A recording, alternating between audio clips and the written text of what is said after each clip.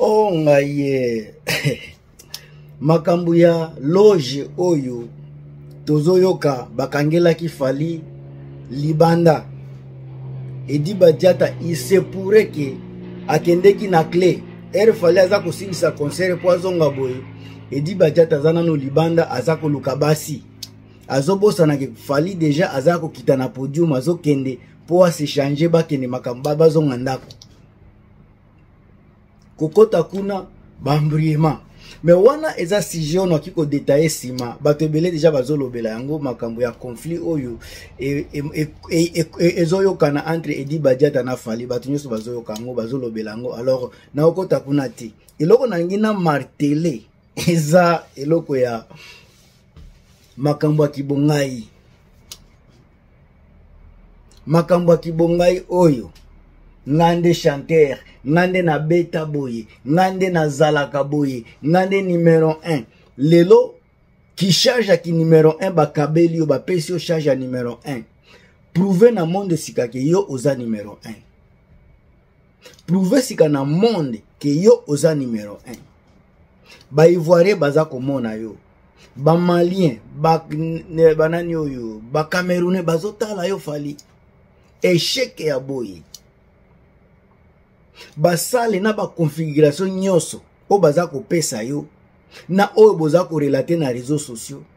bozomona ke fali ndenge nalobaka toujours makambo na ye nyonso eza lokuta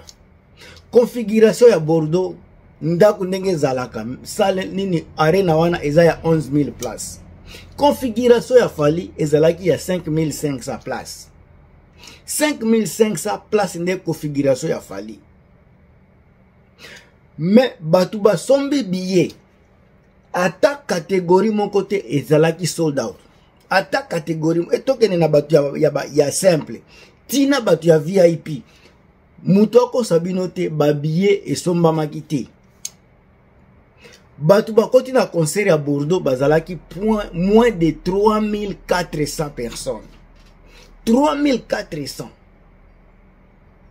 moins moins ya 3400 nde bazalaki na concert ya bordeaux na lyon bazalaki soki 3000 combien donc efali na ora oyo batieli yo na kobanda ti banati lokole ozwi bajoka ozwi popolo mopasola bango nyonso basangani place moko avec bapetit petit youtuber wana oza incapable ya kotondisa place ya capacité ya 6000 personnes na, na lyon mpe ezalaki na capacité soki kaka ya, ya 5000 impossible ya kotondisa mpe capacité ya, 16, ya, ya, ya 5000 me makelele na nzela makelele na nzela yo nde numero 1 bino nde bachampion bino nde bakolo batrophée lelo omoni ke trophée ebetaka miziki te lelo omoni ke badisque dor ebetaka miziki te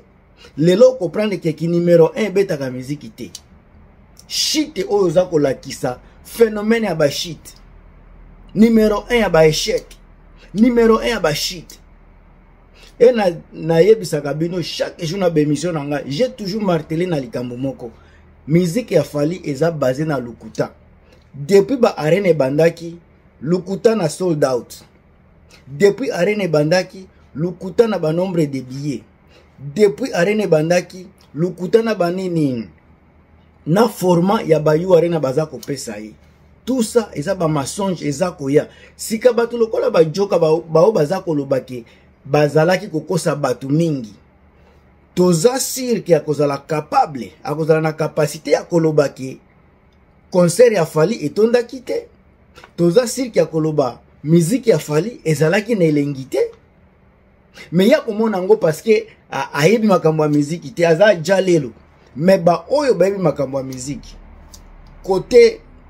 créativité c'était zero eloko ya sika eza te meme musique meme danse kote improvisation zero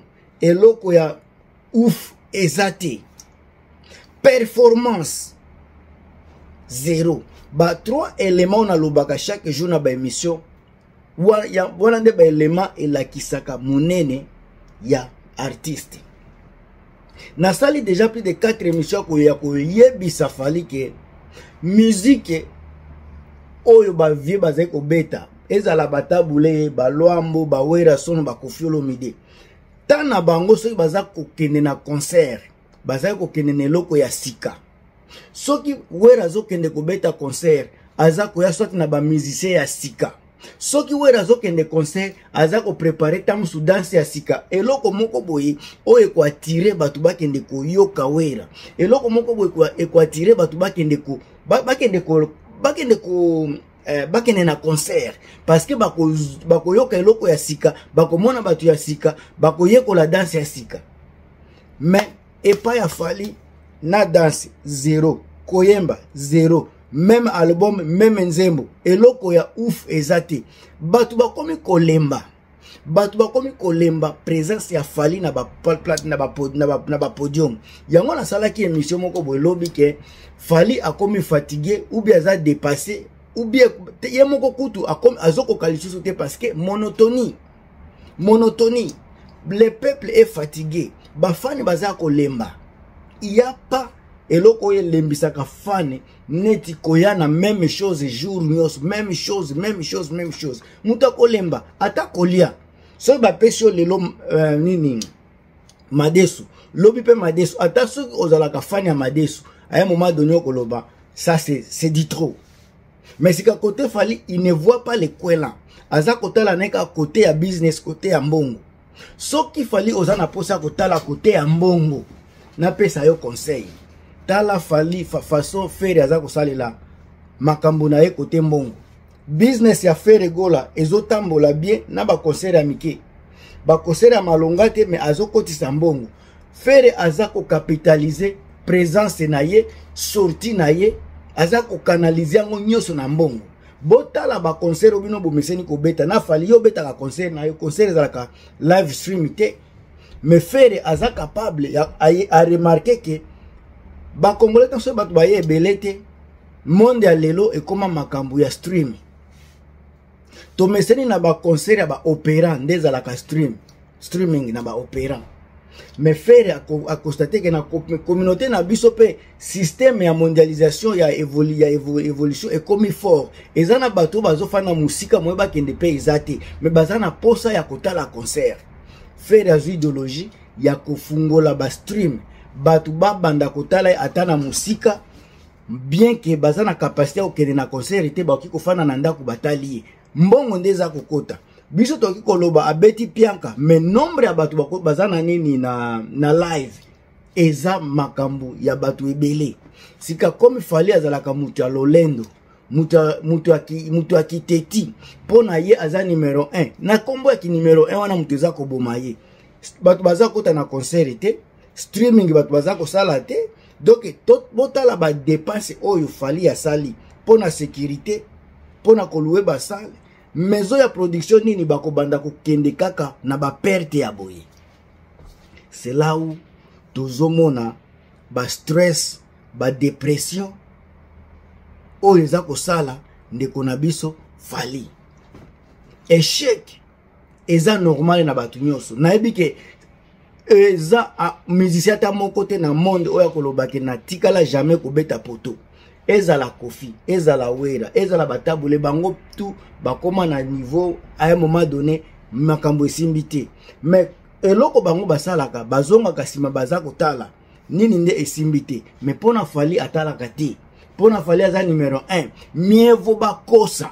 mievo bamema lokuta pourvu que mpo na ye eza kaka bien lelo baresultat bozomona yango bokosi bato na makambo ya sold out moyen bato bakende na concert eza te parce que soki deja oyebi ke eza guichet ferme basi basombaki babiye okende suki kosala nini Elo, e, eloko ya liboso eza koboma fali yango wana ingratitude deuxième élément ingratitude eza eloko oyo il faut fali alongola na vie na ye tant que akoreconnaitre jamais grandeur ya kofi olomide tant que akoreconnaitre jamais ke baentourage na ye baza kotinda ye na nzela mabe tant que akoreconnaitre jamais ke il est temps abeta mpena la main sur la table alobake non entourage oyo nyonso boza pembeni na nga bozo boza koinduire nga na erreur boza kofinga bato ere boza kofinga bato bato ya wenge ofingi bango bakoya te bato ya quartier la te ofingi bango bakoya te kiper eza bajoka ba, ba, ba, ba, te eza bato ya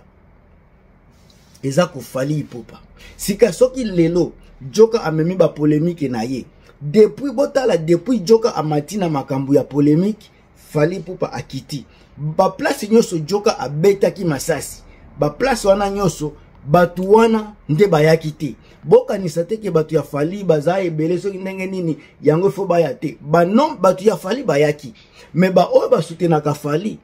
suite ya balangage ya makasi ya bajoka wana na bapopole mopasula envers bango babavie misusu alors yango eza kosala bato babude fali fali abeta poto lelo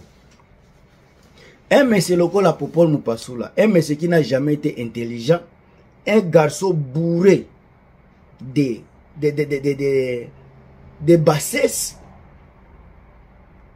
aza mokolo aza mwana te ye nde bozomona aza ko aza koleki aza pembeni ya bana toujours autour ya bana kocreye bazizani entre, entre bajeune ba ya poto